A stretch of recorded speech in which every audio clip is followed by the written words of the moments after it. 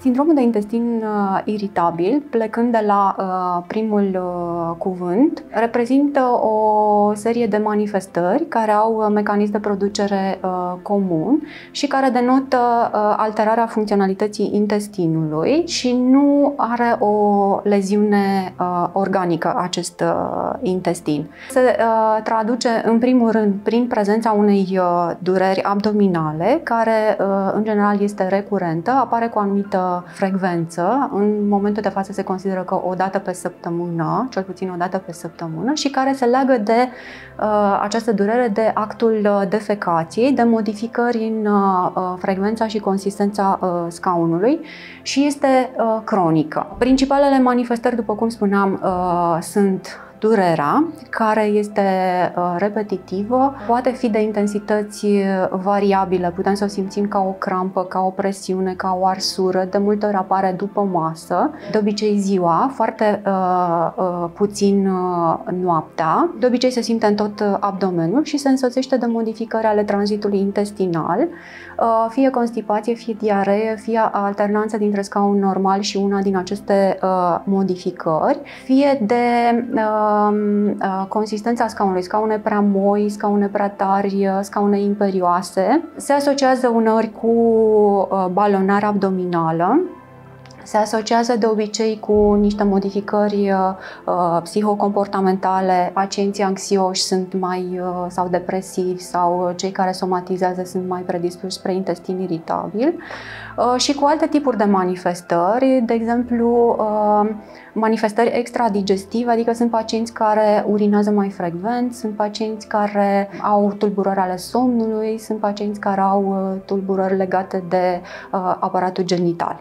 Acest intestin iritabil nu are o cauză uh, dovedită, nu are niște factori de risc, ci s-a dovedit că există uh, niște mecanisme de uh, producere ale acestui intestin iritabil, adică ei au o tulburare a motilității, a modului cum se mișcă acest uh, intestin și această tulburare de motilitate explică durerea care apare ca uh, niște spasme uh, musculare, explică tulburările de tranzit, apariția uh, diarei sau apariția constipației prin uh, modificarea tranzitului. Există uh, dovedit o hiperexcitabilitate uh, sau o interpretare exagerată a ceea ce se întâmplă la nivel intestinal. Adică pacienții resimt distensia intestinală mai mult decât persoanele care nu prezintă intestin iritabil și mai există o proastă comunicare între sistemul nervos central, adică între uh, ceea ce interpretăm noi uh, legat de corpul nostru și sistemul nervos uh, periferic. Tratamentul este multimodal în intestinul uh, iritabil. Se începe cu uh, schimbarea regimului de viață, adică se încearcă să se facă recomandări privind uh, un echilibru între muncă, odihnă, mese regulate, exerciții fizice, ceea ce e frumos spus, uneori mai greu de, mai greu de realizat. Se pot face recomandări generale legate de tipul de tulburare la pacienții cu constipație, uh, se suplimentează volumul de fibre, uh, regimul hidric trebuie să fie unul corespunzător, în diaree se evită uh, cruditățile. Cafeaua nu este interzisă, dar trebuie administrată în uh, cantități moderate, alcoolul iarăși în cantități moderate, dar de exemplu în diaree se exclude, se exclud berea și vinul. Asta este prima, prima etapă. Eu le mai recomand să evite dulciurile, să evite produsele de, de patiserie și alimentele care au uh, un pH uh, extrem sau uh, au uh, un gust extrem.